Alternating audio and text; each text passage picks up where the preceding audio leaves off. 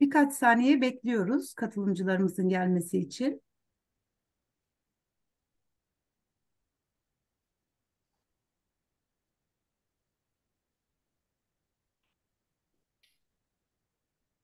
Evet, sanırım artık başlayabiliriz.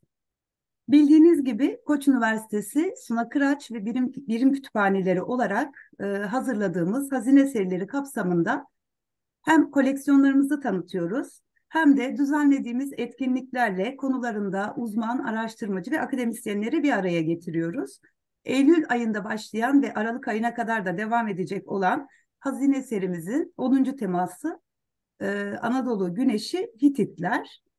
E, hocamıza sözü bırakmadan önce ben e, birkaç teknik detaydan bahsetmek istiyorum. Öncelikle tüm katılımcılarımız için konferansın kayıt altına alındığını belirtmek isterim. Konferansımız daha sonra YouTube kanalımızdan da izlenebilecektir. Tüm katılımcıların videoları ve sesleri kapalıdır. Konuşma boyunca soru sormak isteyen dinleyicilerimiz sorularını chat kısmından bize iletebilirler. Sonrasında hocamız cevapla, cevaplayacaktır. Bugünün e, özel anlamı nedeniyle de Ulu Önder Mustafa Kemal Atatürk'ü şükranla andığımız e, bu özel günde de e, moderatörlüğü içi moderatörlüğü ben e, Sayın e, Doçent Doktor Çiğdem Maner hocamıza devretmek istiyorum. Hocam lütfen buyurun e, söz sizde. Çok teşekkürler Remziye Hanım. Bu anlamlı günde çok değerli Ankara Üniversitesi Dil Tarih Coğrafya Fakültesi öğretim üyesi Profesör Tayfun Yıldırım Atatürk ve Alacahöyük kazıları başlıklı konuşması ile konuğumuz olacak. Kıymetli hocamızı takdim etmek isterim. 1979-1983 yılları arasında Dil Tarih Coğrafya Fakültesi Protohistorya ve Ön Asya Arkeolojisi ana bilim dalında öğrenim gördü. Yüksek lisans eğitimini 1986 yılında Profesör Doktor Kutla Emre danışmanlığında hazırladığı milattan önce 2. binde Orta Anadolu'da madeni silah üretimi konulu teziyle edebiyat doktora e, ünvanını almıştır.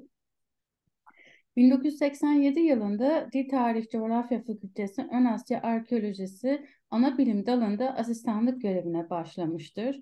1994 yılında ise yardımcı doçent ünvanını aldı. 1996 yılından itibaren Çorum Çankırı Yüzey Araştırmalarının yanı sıra Çorum e, Müzesi ile Hüseyin Dede kazılarını yürütmüştür.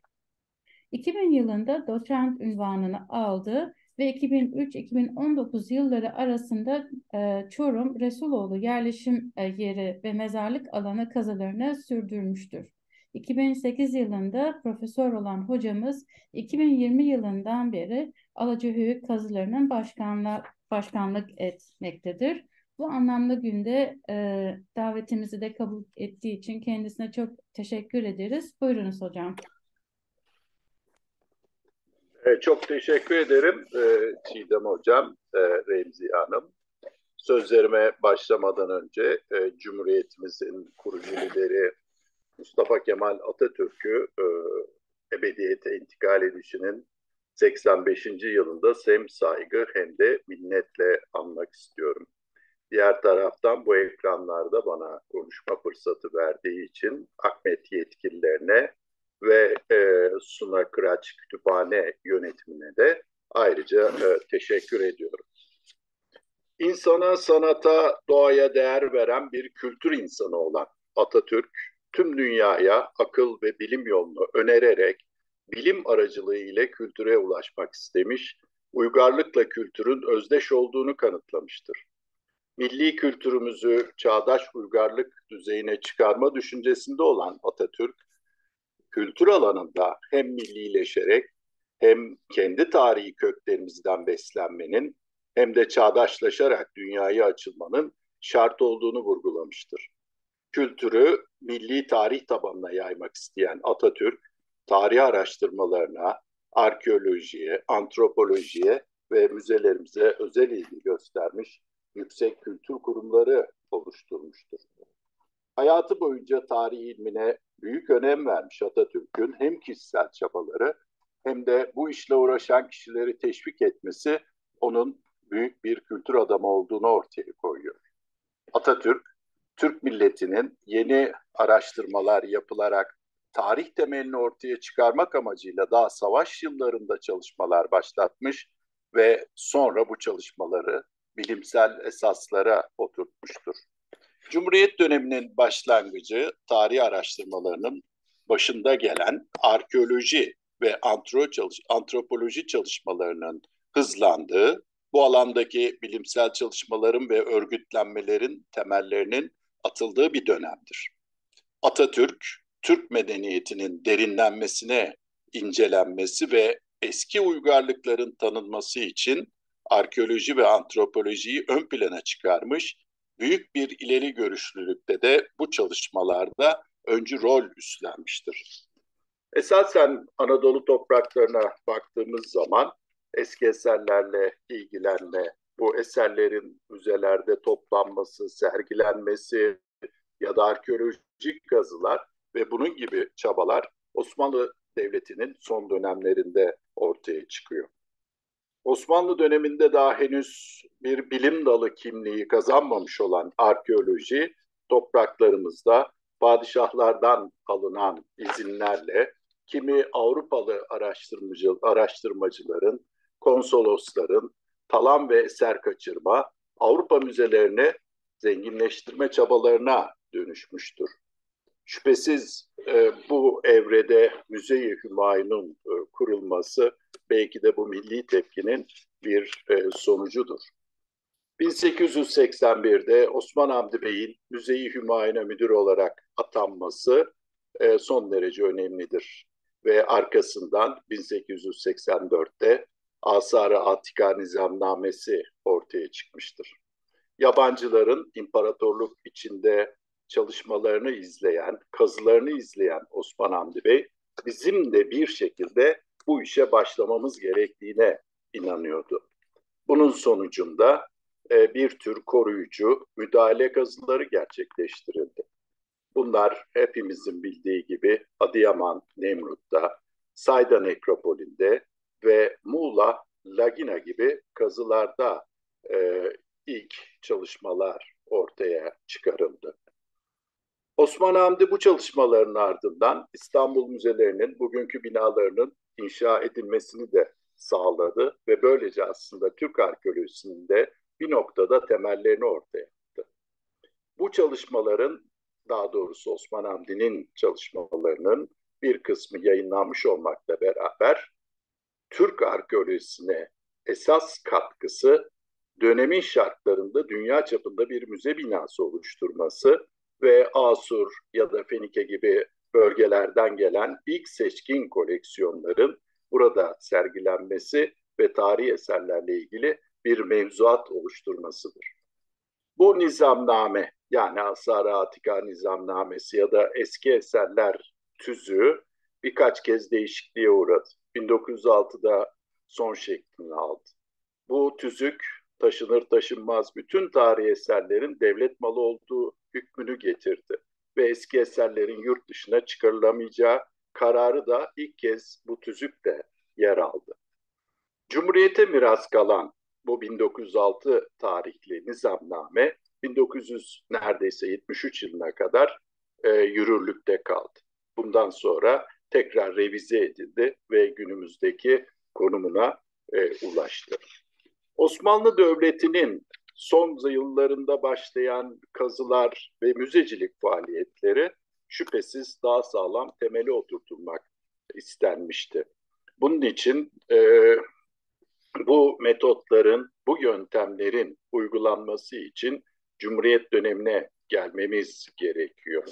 Müzecilik ve arkeoloji faaliyetleri Cumhuriyet'in ilanından hemen sonra Atatürk'ün başlattığı ulusal eğitim ve kültür seferberliği içerisinde hız kazandı. Özellikle 1930'lar birçok alanda olduğu gibi tarih, antropoloji, ön tarih ve e, arkeoloji açısından önemli yeniliklerin ve atılımların gerçekleştiği yıllardır. E, çağdaş uygarlığı anlayabilmek, kavrayabilmek, dünyadaki eski uygarlıkları insanlığın ilk uygarlıklarını doğru tanıyabilmekle mümkündür diyen Atatürk bu topraklarda yaşayan uygarlıkları tanımanın aynı zamanda vatanın sahipleri tarafından da tanınması e, olduğu düşüncesindeydi. Atatürk her gittiği yerde eski kent harabelerini, öğren yerlerini, eski eserleri, varsa müzeleri ziyaret etti ve yetkililerinden e, bilgi aldı. Bunlara örnek verecek olursak 1925 yılında Edirne e, Müzesi'ni ziyaret ettiğini e, biliyoruz. Yine aynı yıl Ankara Garı yakınlarındaki tümülüs kazılarını inceledi.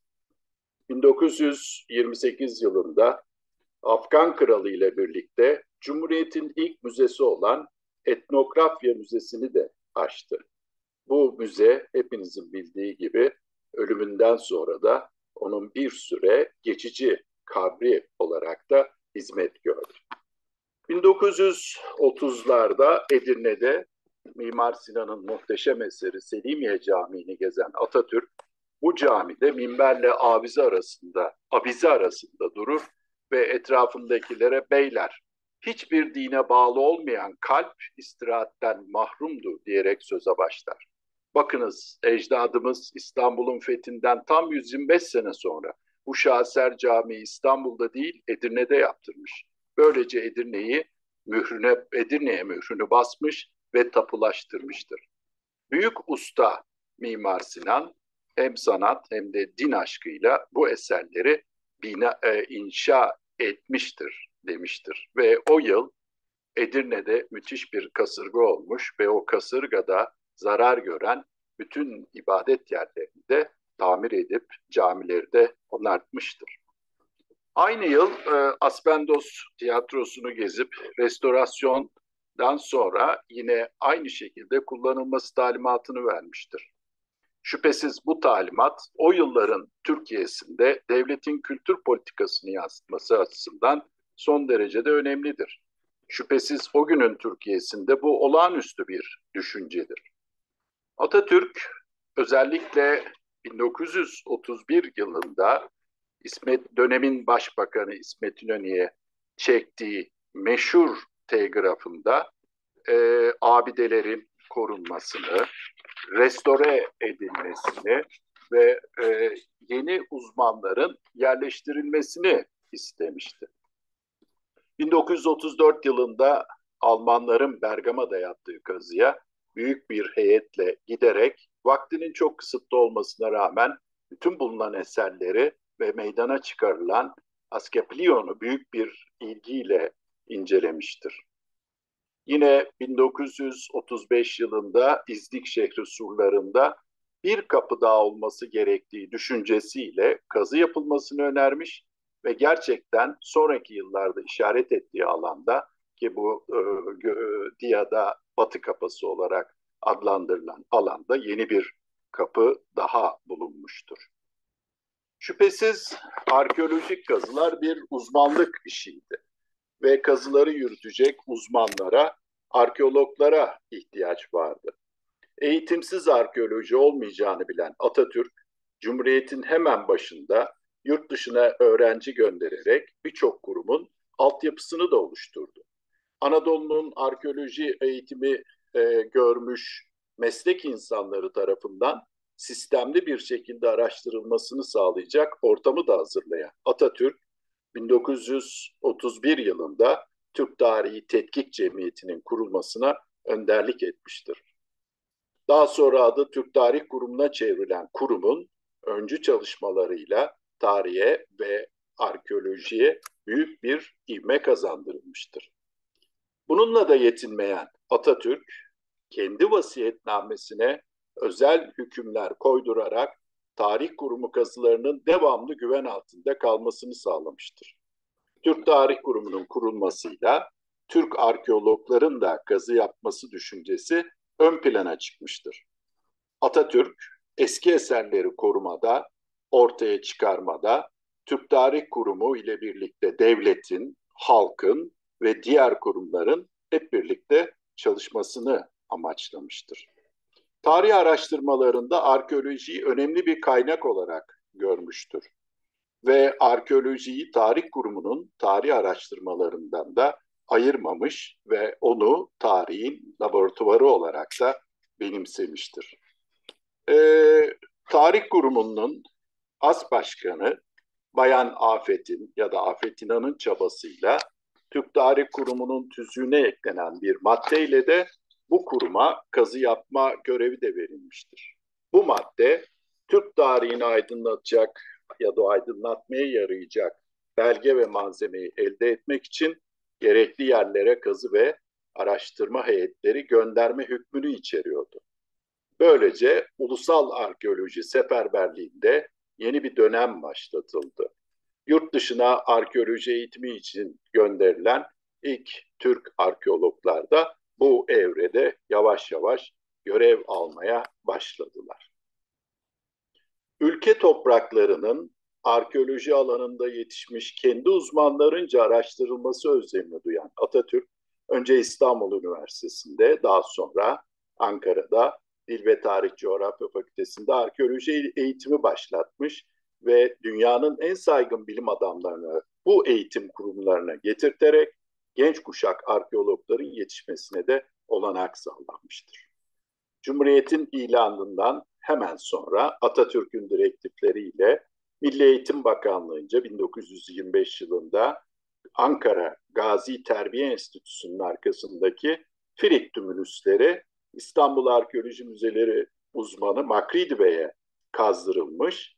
Hemen ardından 1933 yılında Hamit Zübeyir'in başkanlığında devlet adına ahlatlı bel kazıları başlatılmıştır.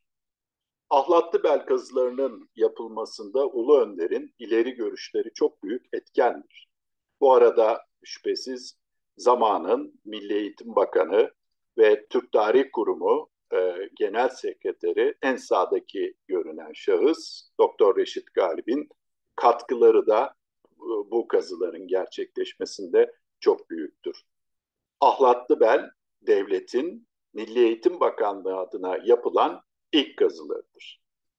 Böylelikle Atatürk'ün 1935 yılında Dolmabahçe Sarayı'nda Türk Tarih Kurumu Başkanı Hasan Cemil Çambel ve As Başkan Afet İnan'a yazdırdığı arkeoloji politikasını içeren metnin birinci maddesi de yerine getirmiş oluyordu. Yani her türlü tarihi vesika, malzeme, abide bulmak, toplamak, muhafaza ve restore etmek hükmü bir noktada gerçekleştirilmeye başlanıyordu.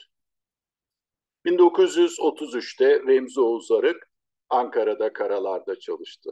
Daha sonra 34 yılında yine Remzi Oğuz Arık Nide Göllüdağ kazılarını sürdürdü. Bu arada Atatürk'ün yakından tahrip, e, e, takip ettiği e, ahlatlı bel kazılarında elde edilen sonuçlar eski Anadolu kültürlerini ortaya çıkarmaya yönelik planlı çalışmaları daha da hızlandırdı. 1935 yılı özellikle e, Çorum, Orta Anadolu ya da Haddi dönemi kazıları açısından önemli bir yıldır. Atatürk'ün direktif ve desteğiyle Türk Tarih Kurumu'nun himayesinde Alacıöyük kazıları başlatılmış ve daha kapsamlı bir ulusal proje, kazı projesi hayata geçirilmiştir.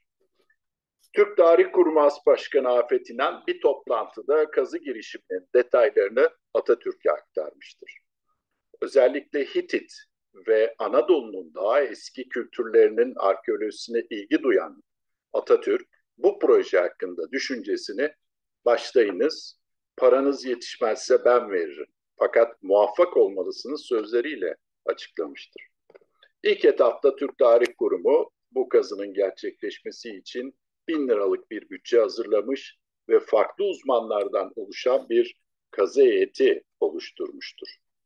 Ve bu arada Bayındırlık Bakanlığı da e, Alacıöyük'te yapılacak restorasyonlar için bütçesine vinç parası koymayı da ihmal etmemiştir. Alacıöyük kazısı 22 Ağustos 1935 yılında o yıllarda Müzeler Dairesi Müdürü olan e, Profesör Doktor Hamit Sübeyir Koşay ve Fransa'da arkeoloji tahsili alarak yurda dönen Remzi Oğuz Arık idaresinde bir heyetle başlamıştır. Daha sonra bu heyete meşhur mimar, arkeolog Mahmut Akop da katılır. Remzi Oğuz Arık 1926 yılında yurt dışına gönderilen ilk öğrencilerdendir. Fransa'da kendisi sanat tarihi ve arkeoloji eğitimi almıştır. İlk Türk arkeoloğudur. Aynı zamanda Dil ve Tarih Coğrafya Fakültesinin de ilk hocalarındandır.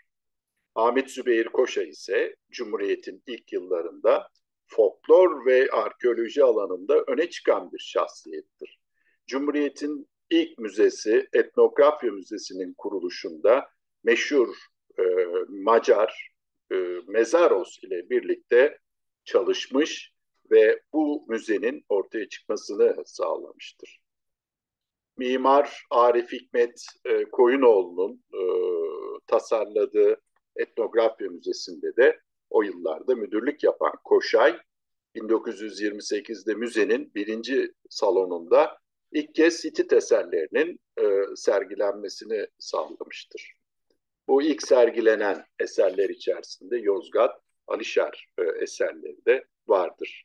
Diğer taraftan burada ilk kez Alacıöyük eserlerinin de biz e, yine sergilendiğini biliyoruz. Bu resimde e, soldan e, beşinci şahıs Ahmet Zübeyri Koşay, sekizinci şahıs ise Remzi Oğuzarık 1935 yılında Alacıöyük'ü kazılarını ilk başlattıkları e, tarihte Ağustos ayında çekilmiş bir fotoğrafta görülüyor.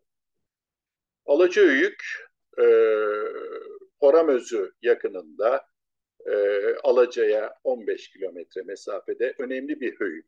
270 metre çapında 16 metre yüksekliğinde bir höyük. Ve bu höyük ilk kez 1835 yılında keşfedildi. Ee, özellikle William John Hamilton'ın e, höyükte birkaç saat kaldığını ve yukarıda gravürünü gördüğünüz e, Sphinxleri e, ki onu kuş olarak çizmiş e, kitabına koyduğunu ve bunu 1842 yılında e, yayınladığını biliyoruz. Hamilton'a göre Alacıöyük'teki bu Sphinxlerde Mısır etkisi vardı. E, tabii o tarihlerde bu anıtsal heykeltıraşlık eserlerinin Hititlere ait olduğu daha henüz bilinmiyordu. Ama e, Alacıöyük arkeolojisi açısından bu e, Hamilton'ın buluşu bundan sonra o bölgeye gelecek olan seyyahlara ve araştırıcılara da rehber olmuştur. E, Hamilton'dan sonra e, Henry Bart gezileri sırasında Alacıöyük'e uğradı. Orada bir tapınak olabileceğini e, düşündü. E, yine e, Osmanlı İmparatorluğu'nda araştırma yapan Mortman da ki ilk tarihçilerden, doğu bilimcilerden birisidir. Onunla birlikte bu e, höyükteki, Alacıöyük'teki e, dini sahneler olan e, kabartmaları gördü ve buradaki Frikçe kitabeleri de kopyaladı. Bart ve e, Mortman'ın da o yıllardaki bize verdiği bilgilere baktığımız zaman daha henüz e, Hitit'le ilgili e, öne sürülen bir fikir olmadığını görüyoruz. Onlar Strabo'nun sözünü ettiği Galatların önemli merkezi Tavium'un Alacıöyük olabileceği düşündüğünü düşünüyorlardı. 1861'de yine bir doğu bilimci Fransız Kültür Bakanlığı tarafından gönderilen George Perrault e, ve arkadaşları e, bu bölgeye geldiler. Boğazköy'e geldiler. Bu arada Alacıöyük'e de uğraştı, e, uğradılar. Ve Alacıöyük'teki kabartmaların ilk çizimlerini de yaptılar. E, ve ilk kez Alacıöyük'teki kalıntıların resimleri de bu 1861'de gelen heyet tarafından çekilmeye başlandı. Bundan sonra 1870'te bir misyoneri Alacıöyük'te görüyoruz. Henry van Lennep e, o da Alacıöyük'te çizimler yaptı ve krokiler çıkardı. Oradaki kabartmaların e, görüntülerini de, eserlerini de bize sunmaya çalıştı.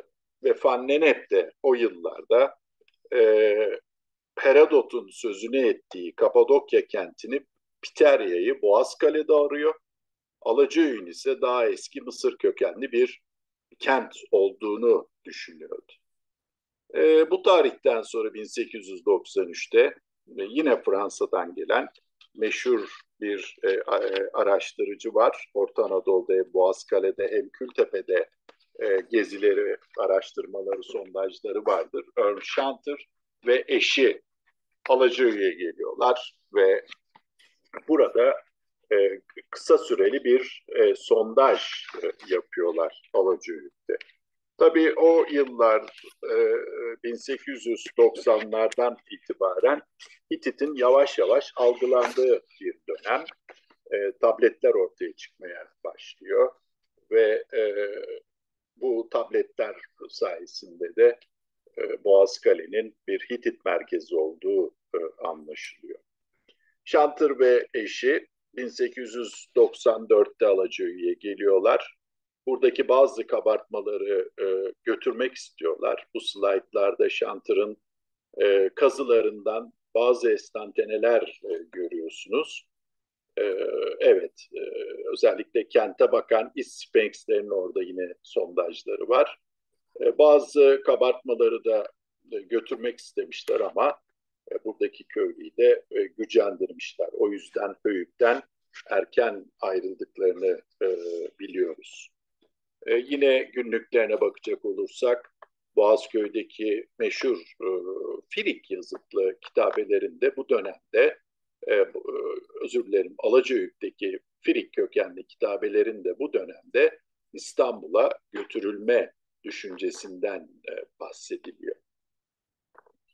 1906'da e, Boğazköy'de Hugo Winkler'le birlikte kazı yapan Müzeyi Hümayun'un önemli bir ismi var. Makridi Bey.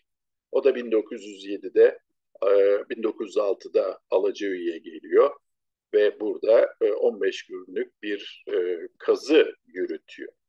Özellikle bu kazıların bugünkü Alacıöy'ün meşhur girişteki Batı Kulesi'nde gerçekleştirildiği görülüyor. Bu kazılarda özellikle e, bugün Anadolu Medeniyetleri Müzesi'nde te, teşhir edilen av sahneleriyle ilgili ikinci sıraya ait ortostatların açığa çıkarıldığını e, görüyoruz. E, bu tarihte evet e, burada en üstte alttaki çizime bakacak olursak ikinci sıradaki av sahneleri Makridi Bey'in kazılarında çıkan e, örnekleri e, görüyoruz. Bu arada e, yine 1926-27 yılı seyahatlerinde e, Anadolu için tanınan meşhur bir isim var. Hans Henning von der Osten. Alacıöyük'e geliyor e, ve Alacıöyük'teki bazı kabartmaların Ankara'ya götürülmesi için de yetkililerle e, görüşüyor. O yıllarda çekilen resimleri görüyorsunuz. Von der Osten dil tarihin aynı zamanda ilk arkeoloji hocalarındandır ve Anadolu'yu özellikle Orta ve Doğu Anadolu'yu karış karış gezen e, bir e, araştırıcıdır. E, 1900 e, tabii 30'lara doğru bu kabartmaların e, Ankara'ya getirildiğini biliyoruz. Alacıöyük'teki kabartmaların özellikle meşhur bir müze memuru var Ömer Samih Bey. Onun gayretleriyle ilk önce August mabedinin olduğu Hacı Bayram Camii'nin yanına getiriliyor. Bu ortostatlar e, daha sonra da çok enteresan 1934 yılında Etnografya Müzesi'nin hemen önündeki Atatürk heykelinin teras kısmına e, yerleştiriliyor. Oradaki bir nişin içerisine yerleştirilmiş. Herhalde burada Ahmet Sübeyir e, Koşay'ın bir etkisi var. Keza e, sol tarafa bakacak olursak orada da Boğazköy'ün meşhur e, kapılarındaki e, kral figürünün e, ki kral kapısının figürünün e, bu o terasta e, Hitit eseri olarak konulduğunu görüyoruz. Bu kabartmalar daha sonra e, Bedesten Müzesi olarak da bilinen bugünkü Anadolu Medeniyetleri e, Müzesi'ne e, taşındılar. E, bu tarihten sonra tabii e, 1935 kazıların başladığı bir dönem e, genelde üç ana hedef belirlenmişti. Türk Tarih Kurumu'nun kazılarında ya da Remzi Oğuz Arı Kami Sübeyir'in kazılarında. Bunlar Alacıöy'ün çevresini araştırmak, metodolojik sondajlar yapmak ve muhtelif uygarlıklar hakkında bilgi sahibi olmak ve Höyük'ün yine aynı şekilde Boğazköy tabletlerinde adı geçen Arinna kenti olup olmadığını e, öğrenmek şeklinde e, sıralanıyordu hedefler. İlk gazı çukurunu görüyorsunuz e, üstteki resimde. O zamanlar Höyük'te e, 82 hanelik bir e, köy vardı. Köy meydanında e, Atatürk'ün direktifleriyle ilk kazılar başlatılıyor. Burada 10 metrelik bir derinlikte e, o yıllar için hiç umulmadık olağanüstü eserler e, ele geçiyor. Bu eserlerin ele geçtiği yeri sol alt köşedeki e, hava fotoğrafında da sizlere göstermek e, istedim. E, bu höyük 270 metre çapındaki e, 16 metre yüksekliğindeki bu höyük e, en yukarıdan başlayacak olursak Osmanlı, Bizans, Roma, Firik, Hitit, onun altında Erken Tunç, en altta da Kalkolitik çağa kadar ulaşan tabakalara sahip. Ee, ama ilk kazılarda 1935-36'daki ilk dönem kazılarında özellikle e, üçüncü kültür katı olarak bilinen e, 6,5 metre ile 10 metre derinlikler arasında e, Erken Tunç son evresine ait muhteşem mezarlar açığa çıkarılıyor. İşte Alacıöy'ü meşhur eden ve Alacıöy'ün e, dünya eserleriyle, Mezopotamya ile hatta Truva ile rekabetini sağlayabilecek eserler bu mezarlarda açığa çıkartılıyor. Bunlar Hititler daha Anadolu'ya gelmeden önce yaşadığını bildiğimiz Hattilere ait, e, yönetici sınıfa ait ya da beylere ait mezarlar. Bu mezarları meşhur eden buluntular içerisinde hepimizin bildiği kurslar ve onun dışında hayvan heykelcikleri var. Bu mezarlar 13 tane. Ee, bazı yayınlarda 13 artı 1 geçer. Bir mezarın iki evresi olduğunu biliyoruz. Hem kadınlar hem erkekler birlikte e, ayrı ayrı gömülmüşlerdir. Çocuk yoktur bu mezarlarda. 70 santim derinliğinde oda mezar tipindeki bu mezarlar özellikle içerdikleri hem kişisel süs eşyaları hem de dini eşyalarla uluslararası alanda büyük bir e, ün sağlamıştır. Bu slaytlarda e, bu mezarlardan çıkarılan e, eşyaları e, görüyoruz. Bugün Anadolu Medeniyetleri Müzesi'nde e, te, e, teşhir edilen bu eserler Truva hazineleri ve Mezopotamya'daki Ur Kral mezarları eşyasıyla rekabet edebilecek sanat seviyesine sahiptir. Bu bulgular içerisinde madenciliğin ön plana çıktığı anlaşılmaktadır. Haddi dönemi madenciliği bu bölgede yüksek bir kültürün oluşmasına da imkan sağlamıştır. Henüz yazının kullanılmadığı bir dönemin eşyalarıdır bunlar ama bu madenlerin içerdikleri teknoloji haddinin yüksek bir kültür olduğunu da ortaya koymuştur. Her türlü e, eşya, madeni eşya üretimi vardır bu mezar eşyası içerisinde. Altın, gümüşten tutun, bakırın alaşımlarına kadar hatta demir bu mezarların en önemli madeni eşyaları olarak e, karşımıza çıkar. Bunlar e, beylerin e, ya da prenslerin ya da prenseslerin e, hem özel eşyaları hem de dini eşyalarıdır. Bu eşyalar içerisinde daha ilk yıllarda e, üç krali mezar açığa çıkarılmıştı 1935'te. BRT e, isimleriyle adlandırılan bu mezarlarda sağ üst köşede gördüğünüz kurs bugün hem Ankara'da hem de e, Orta Anadolu'da e, birçok kurumun sembolü olarak varlığını günümüzde de korumaktadır. E, yine bu mezarlara e, bırakılan çeşitli süs eşyalarını, heykelcikleri ve o dönemin sanatı ile ilgili bulguları görmekteyiz. Bu bulgular 23 e, Eylül'de 1935 tarihinde Ankara'ya haber veriliyor. Ve e, aralarında Afet Hanım e, da bulunduğu bir heyet, Milli Eğitim Bakanı Saffet Arıkan ve Türk Tarih Kurumu üyeleri hemen e, Alacı'ya geliyorlar ve e, bu iki hafiri Remzi Uzar'ı ve e, Hamit Zübeyir Koşa'yı tebrik ediyorlar. Yani bu dönemde devletin Alacı'ya büyük bir ilgisinin olduğu anlaşılıyor. Ee, öyle müthiş buluntular ortaya çıkarılmış ki genç arkeologların sevinç ve heyecanlarına bu heyet ortak oluyor. Alişer kazılarından sonra ilk kez Hitit kültürüne öncülük eden eski kültürlerin yani Hattiler diye tanınan kültürle ilgili büyük bir mesafe kat ediliyor. Üstelik umulmadık bir şekilde bu yüksek kültüre ait son derece zengin sanat yapıtları ortaya çıkarılmıştı. Ve dolayısıyla kazının en başında Atatürk tarafından verilen direktif yerine getirilmiş ve muvaffak olunmuştu. Yani başarı elde edilmiş Atatürk'e verilen sözde bir noktada tutulmuştu.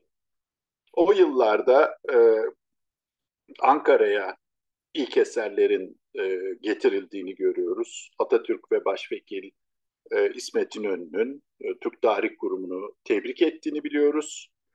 Ve böylelikle Türk Tarih Kurumu'nun kazısına hükümetin daha da ilgisinin arttığını biliyoruz. Bu arada tabii yayın çalışmalarına çok fazla önem de veriliyor ilk yıllarda ve e, Atatürk ilk kazı sonuçlarını içeren yayını için Remzi Oğuz Arı bir noktada Dolma Bahçe Sarayı'nda zorunlu ikamete tabi tutuyor. Ona bir çalışma ortamı hazırlatıyor ve 1935 yılının ilk sistematik iki dilde kazı raporu Türkçe ve Fransızca olarak Tarih Kurumu tarafından basılıyor ve dünyaya lanse ediliyor. Klasik arkeolojinin duayeni e, Ekrem Akurgal 1937 yılında Berlin'de tahsil görürken kendisini çok etkileyen bu konuyla ilgili hatırasında yabancı hocaların bir gün kendilerini yemeğe davet ettiğini, yemekten sonra bir hocanın 1935 yılına ait Alacıöyük kazı raporunun ilk cildini göstererek işte örnek bir kitap. Bu çalışmayı bir Türk profesörü Arık yapmıştır. Biz de nihayet bu kadar yapabiliriz dediğini aktarmaktadır. Kitapta yer alan bilgilerle farklı uzmanlık alanlarına ait raporlar, arkeolojinin o yıllar için modern saydığı teknik ve yöntemlerin uygulanışı uluslararası bilim dünyasında son derece ilgi ve takdirle karşılanmıştır. O yıllarda e, Tarih Kurumu'nun yayınlamaya başladığı önemli eserlerden birisi de 3 aylık periyotlar halinde çıkan Belleten adlı dergidir. Bu dergi hem tarih hem arkeoloji hem de antropoloji çalışmalarına yer vermektedir. Ve bu derginin adı da bizzat Atatürk tarafından e, konulmuştur. Yani Atatürk Tarih Kurumu'nun çıkaracağı bu dergi için e, bülten nedir sorusuyla hareket ederek İtalyanca'daki bulletino kelimesi ve kökenlerinin araştırılmasını istemiş. Latince'de bulla sözüne gidilmiş. Yakut dili lugatindeki bulletin kelimesinin aslı aranmış ve Yakut dilinde buna benzer kelimeler çıkarılarak neticede bel, belge, belli, belletmek gibi kelimelerin ardından bulletin sözüne en yakın olan belleten kelimesini e, ön, e, bulun, beleten kelimesi bulunmuş.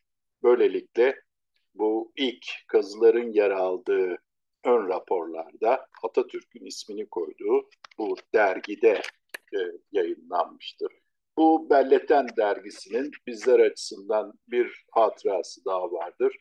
Atatürk gözlerini e, yummadan önce kendisine en son gösterilen eserlerden de birisidir. Türk Tarih Kurumu'nun tabi kurulmasından sonra e, çok sayıda tarih kitapları hazırlandı. Bu tarih kitapları e, Milli Eğitim Bakanlığı tarafından bastırıldı. Ortaokullar, ilkokullar için e, kitaplar hazırlatıldı. Bu arada e, 1932 yılında birinci Türk Tarih Kongresi toplandı. Bu toplantının, bu kongrenin toplanmasının asıl amacı e, bu yeni kitaplardaki tarih görüşlerinin ve tarih öğretiminde tutulacak yolun öğretmenlere ve kamuoyuna anlatılmasıdır. Bu kongrelere temel teşkil eden, tarih kongrelerine temel teşkil eden bu birinci kongrenin ardından İkinci Türk Tarih Kongresi de 1937 yılında Dolmabahçe Sarayı'nda toplanmıştır. Bu top, e, kongrede aynı zamanda bir sergi düzenlenmiş. Bu sergi içerisinde Alacıöyük eserlerine de yer verilmiş. Hatta ilk kez Alacıöyük'ün meşhur kral mezarlarının bir maketi de bu sergide ilk kez gelen bilim adamlarına sunulmuştur. E, bu kongre 6 gün sürmüş ve çok sayıda yabancı bilim adamı bu kongreye katılmıştır. Ve e, kongre döneminde Türk Tarih Kurumu'nun programlarının daha da zenginleştirildiğini görüyoruz. Özellikle e, Hasan bu slaytta Atatürk e, bu e, sergide e, Alacıöyük eserlerini inceliyor. E, özellikle bu kongrede ortaya çıkan e, bir Atatürk tarafından yazılan bir program çerçevesinde e, tarih alanında yurt çapında bir seferberlik başlatıldığını da e, görüyoruz.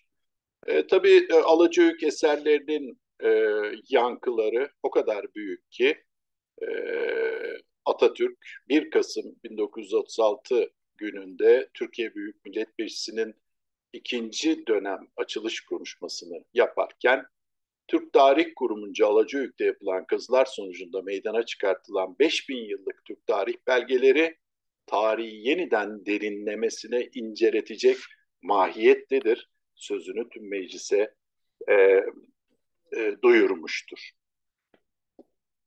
Böylelikle e, kültürel açıdan büyük bir ilerleme var. Arkeoloji çalışmaları açısından büyük bir ilerleme var. Alacıöyük açısından e, tabii e, bu ilerlemenin en önemli göstergesi Hitit öncesi kültürler hakkında çok büyük bir mesafe e, e, alınmasıdır. E, Alacıöyük için bu yıllarda ilkler vardır. Yani bu e, mezarların bulunması ki burada ilk bulunan A mezarını görüyorsunuz. Ee, yine daha sonraki 37-39'da bulunan e, Aş mezarını e, görüyorsunuz.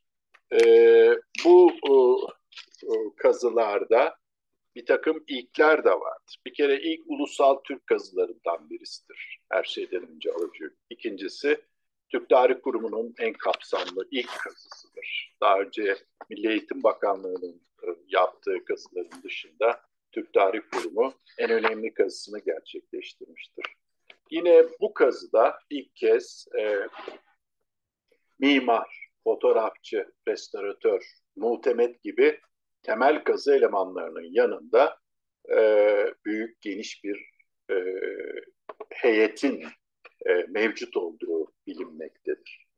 İlk kazı evi yine 1936'da e, Alacıöyük'te yapılmıştır. 1940 yılında ilk yöresel müzede Alacıöyük'ün içerisinde inşa edilmiştir. İlk taşıtlar Alacıöyük için satın alınmış. Bu taşıtlar muhakkak ki vagonlar. E, bu vagonların bir kısmı Alişer kazılarından getirilmiş. Hatta ilk sene raylar yetmemiş Boğazköy kazılarından da takviye alınmıştır. E, bir söyleme göre bu vagonların kazıda ilk kullanılan bu taşıtların e, parası da yine e, Atatürk tarafından verilmiştir.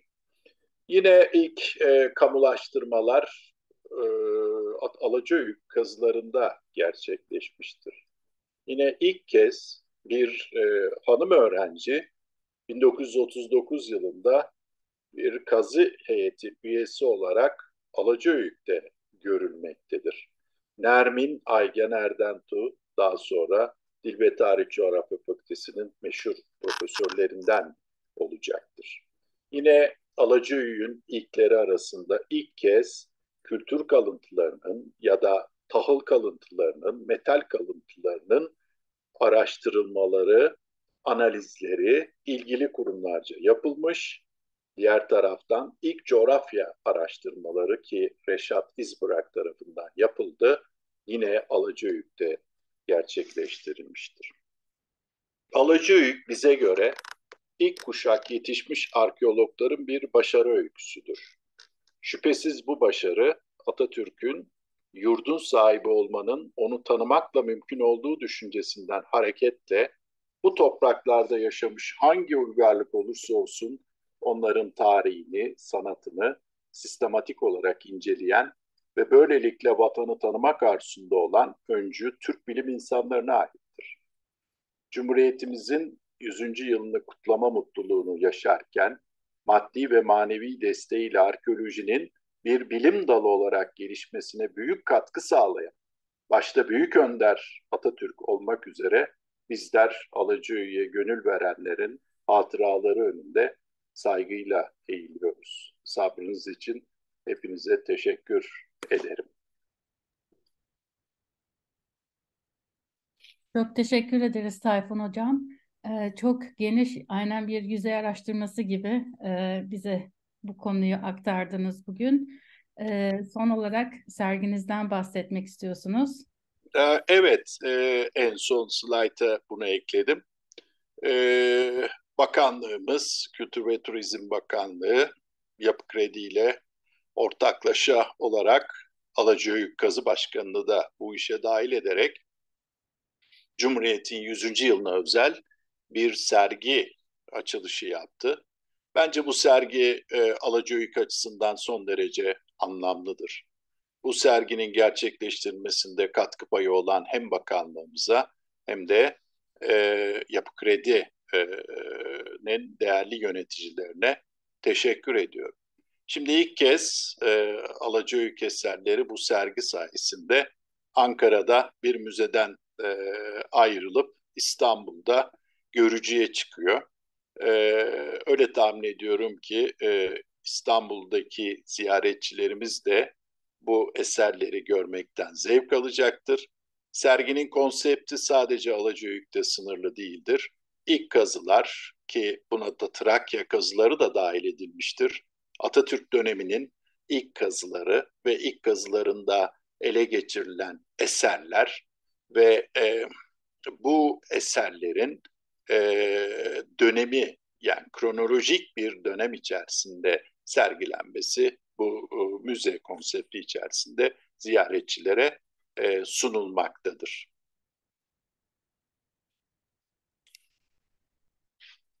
Evet efendim, e, sergiden de e, bahsetmiş olduk bu vesileyle. Ama e, bu sözlerimizin e, en başında e, Atatürk'ü bu e, anlamlı günde saygı ve minnetle andığımızı belirtmek istemiştim. Bu arada e, hocam Profesör Tahsin Özgüç'ün bir sözü de aklıma geldi. Ala, e, arkeolojiyi Cumhuriyet ve Atatürk'ten ayrı düşünemeyiz derdi bize derslerinde, öğretilerinde. Gerçekten onun sayesinde hepimiz bu mevcudiyetimizi sürdürmeye devam ediyoruz. Çok teşekkür ederiz hocam. Çok olağanüstü e, güzel bir sunum oldu bu anlamlı günde. E, Atatürk'ün ayrıca Hitit ve eski medeniyetlerin de bu kadar araştırmasına destek verdiği e, bizler için çok önemlidir. Bugün bizim hepimizin aslında dalı olan Ön Asya arkeolojisinin de kurulmasına ön ayak olmuştur bütün bu sonuçlar. Evet. Çok sayı var, soru var hocam. Bir tanesinden başlamak isterim izin verirseniz. Tabii efendim, memnuniyetle buyurun. Evet. İnsanlar özellikle çok muhteşem diyorlar, olağanüstü diyorlar. Yani bütün tebrikleri şu an okuyamayacağım ama çok sayıda tebrik var. Ee, onları bir aktarmak isterim. İlk sorumuz 1800'lü e, yıllarda Avrupalı gezginlerin bölgeyi ziyaretlerinde yurt dışına götürülmüş, tespit edilmiş eserler var mı? Bu sanırım Alacahöyük e, için geçerli bir soru. Bahsettiğiniz... E, Alacahöyük'ten 1800'lerde giden bir eser yok. 1800'lü e, yıllarda Alacahöyük'ten yok ama Orta Anadolu'dan var. E, bugün Fransa müzelerinde Orta Anadolu kökenli özellikle Kültepe kökenli, Boğazköy kökenli eserler olduğunu biliyoruz. Alacahöyük'e gelen o ilk gruplar e, tabii e, biraz şanssızdı. Çünkü höyüğün üzerinde köy vardı. Köy olduğu için kazı yapamadılar. E, onların tabii dikkatini çeken neydi? Oradaki kabartmalardı. O kabartmalar da taşınamayacak kadar, yerlerinden kıpırdatılamayacak kadar da ağırdı. Bu yüzden 1800'lü yıllarda Alacahöyük'ten dışarıya bir kaybımız olmadığını düşünüyorum. Evet. Evet soran kişi Alacahöyük için diyor. Onun dışında örnek olarak ortostatlardan götürülenler var mı diye soran kişiler var. Ortostatlardan götürülen yok. Ortostatlar ilk çıkarıldıklarında bazıları köylüler tarafından tahrip edilmiş. Öyle tahmin ediyorum. Temellerde kullanılmış. Ama o kadar ağırlar ki dışarıya götürmek mümkün olmadı. Zaten Makridi Bey de 1907'de yaptığı kazılarda e, bunların taşınması için arkalarını kestirdi ortostatların. Ağırlığı biraz e, azalttı. Ama o günkü koşullar içerisinde İstanbul'a ya da Ankara'ya götürülemedi onlar. Ortostatları e, Ankara'ya taşıyabilmek için 1920'li yılların sonunu beklemek e, gerekti ve Hamit Zübeyir'in çabalarıyla, von der çabalarıyla hepsi Ankara'ya e, geldi. Hiçbir kaybımız yok ortostatlarda. Ne kadar güzel yani bu aslında çok ender bir durum genel olarak. Evet. Ee, bahsettiğiniz gibi biz de şu an e, ben de İstanbul'da yaşayan biri olarak e, ilk defa Alacağük e, eserlerini İstanbul'da ağırlayabiliyoruz. E, öğrencilerimizle gidip görüyoruz ve tahminime göre sergi zaten çok e, muhteşem büyük bir ilgi görmektedir. E, burada çok güzel bir yorum var. E, çok teşekkür ederiz bu anlamlı günde yaptığınız bu değerli sunum için. E, onun dışında çok e, sayıda dediğim gibi tebrik var. Başka sorumuz var mı dinleyicilerden?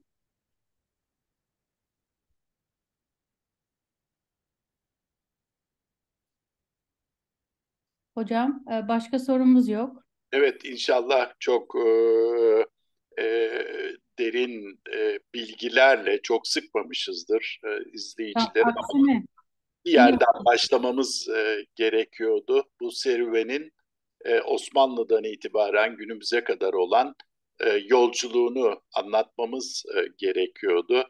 E, Alacayük bizim için bir ata yadigarıdır, bir mirastır. E, bu mirası e, korumakla hepimiz e, görevliyiz. Ben şahsen kazı başkanı olarak e, bu mirasa sahip çıkmanın ve Atatürk'ün ideallerini gerçekleştirme yolunda adımlar atmanın gururunda yaşıyorum. Bu vesileyle bunu da belirtmek isterim. Çok teşekkür ederiz hocam. Aslında ben de bahsettiğiniz bir anahtar e, kelime yerine çıkarmak isterim. Ulusal Arkeoloji Seferberliği. Bu gerçekten çok önemli bir anahtar kelime. Bugün de aslında geçerli olan. E, dileriz ki bundan sonra yani Cumhuriyetimizin 200. yılında da e, ciddi bir ulusal e, seferberlik söz konusu olur arkeolojide. Çünkü artık hepimizin çok değer verdiği konular. Son olarak bir sorumuz daha var. Hocam, Buyurun gelecekle ilgili e, nasıl devam etmeyi düşünüyor Alacahöyük kazısı ve ayrıca arşivleme işlemlerini e, bu şekilde bir sorumuz var. Evet, e, Alacahöyük'ün arşivlenmesi konusunda Türk Tarih Kurumu ile işbirliği yapıyoruz. Önce onu söylemem lazım. Türk Tarih Kurumu'nun elinde çok güçlü bir e, Alacahöyük arşivi var. Bu arşivlerin bir kısmı e, yavaş yavaş yayınlanmaya başladı. Ve bir kısmının da e, özellikle kazı evinde bulunan arşivlerin Türk Tarih Kurumu'na kazandırılması için e, bir protokol de yaptık. E, elimizdeki dokümanların hepsini e, bu Cumhuriyet'in ilk kazısı olma özelliğinden dolayı tarih kurumuna bırakma zorunluluğumuz e, var. E, arşiv açısından e, diğer taraftan e, diğer e, e, filmler e, ya da resimler e, taranarak yeni teknoloji içerisinde resimler düzeltilerek bunlar tarih kurumunun e, sistemine sokulmaya çalışılıyor. Bizler ne yapacağız? E, bizlerin tabii e, Alacayük kazılarını daha ileriye götürmemiz için e, şüphesiz e, desteğe ihtiyacımız var. Projelerimiz var. Bu projeleri gerçekleştirmek için Tarih Kurumu'nun e, desteği halen devam ediyor. Bu çok sevindirici. Ama bu yetmiyor sanıyorum. Tarih Kurumu'nun e, dışında daha fazla desteğe ihtiyacımız var. Buradaki personel, uzmanlar e, Alıcı'yı daha da ileriye getirebilecek e, çalışmaları yapabilecek kabiliyete ve donanıma sahipler her şeyden önce. E, desteklerimiz arttığı müddetçe biz de bu kazıları daha ileriye taşımanın yollarını arıyoruz. Özellikle kronoloji problemleri e, çözümünde yeni bir yol almaya başladık. E, bu destekler sürdüğü müddetçe e, ileride daha iyi bir yere geleceğimizi düşünüyorum. Çok teşekkür ederiz hocam. Bir sorumuz daha var. Cumhuriyet'in ilk yıllarında başlayan çoğu kazının Anadolu'nun iç bölgelerinde yapıldığını biliyoruz. Bunun özel bir nedeni var mı sizce? Temelinde yeni kurulmuş bir ülkenin e, kökenlerini sağlam bir temelleri oturtulması hedefi var mı diye soruyorlar. E, şüphesiz. Yani e, devletler e, temellerini bir zemine oturtmak için arkeolojiye başvururlar. E, Atatürk'ün de o yıllarda hem Türk tarih tezi hem güneş dil teorileriyle bunu gerçekleştirmek için uğraş verdiğini hepimiz biliyoruz. Ee, İç Anadolu'da olmasının nedeni şudur. Bu ilk hevesin Ankara başkenttir. Ee, dolayısıyla e, başkent olarak kurgulanan bir yerin etrafının da kültürel açıdan e, öğrenilmesi, dip tarihine inilmesi gerekiyor ki e, ülkeyi bir kültür e, e, çerçevesi üzerinde bir yere getireceksiniz. Köklerini e, bugüne bağlayacaksınız. Bu açıdan herhalde Ankara'nın başkent olmasının özel bir önemi var diye düşünüyorum. Ancak şunu da unutmamamız lazım. Bu seferberlik sadece İç Anadolu'nun belli bölgelerinde değildir. Örneğin daha 1930'lu yıllarda hem Yalova civarında hem de Trakya'da gerçekleştirilen araştırmalar vardır. 1936 yılının Trakya araştırmaları içerisinde vize tümülüslerinin bulguları Atatürk'ü çok memnun etmiştir. E, bu bağlamda e, diğer bölgelerde de Atatürk yabancıları da hiçbir zaman bu sistemin dışına itmemiş. Özellikle Truva gibi kazıların ya da Sakça gözü gibi kazıların ya da etraftaki bazı yabancı kazıların sürdürülmesini de telkin etmiştir. Evet çok doğru, çok doğru. Ee, hocam çok güzel bir yorum var. Onu okumak isterim izninizle. Ağzınıza sağlık hocam. Çok teşekkür ederiz. Daha Cumhuriyet e, kurulmamışken savaş sırasında aklına bir etim müzesi fikri düşen, bunu Alacaoğlu kazılarıyla taçlandırılan e, Ulu Önderimize saygıyla diye. Ve etim müze fikri e, yani keşke demek istemiyorum. Umarım e, bu önümüzdeki yıllarda gerçekten gerçekleşir. Yani 100 sene evvel düşünülen fakat yapılamayan bazı sebeplerden dolayı. Evet, evet. Ama gerçekten Atatürk'ün de bu eski e, dönemleri ve Hitit medeniyetinin merakıyla aslında ortaya çıkan bir müze fikriydi. E, belki vazifemiz bundan sonra e, bu yeni yüzyılda bunu gerçekten gerçekleştirmek olacaktır hep beraber. E, çünkü Anadolu'ya has aslında ilk medeniyet Hititler. Yazılı. Ve Hitit öncesi Hatti diyelim. Hatti ve Hitit. Tabii ki. Evet. Hatti ve Hitit. Evet, evet. Ülkemize gerçekten e, ülkemiz yani hepimizin ihtiyacı var burada. Çok iyi oldu. Engli'nin güzel bir projesi vardı.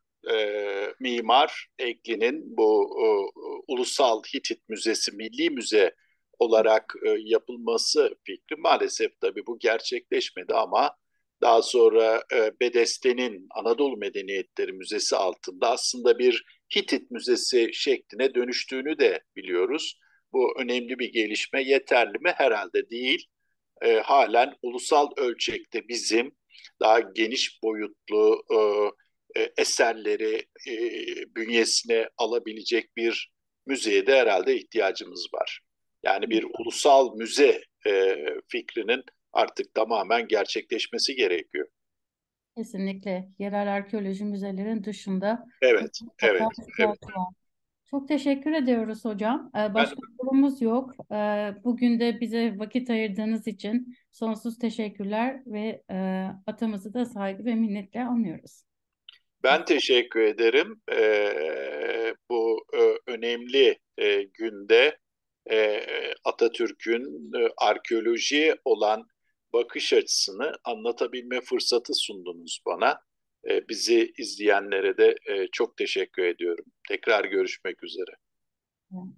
Çok teşekkür ederiz. Sayın dinleyiciler, teşekkürler, iyi günler. Hoşçakalın efendim.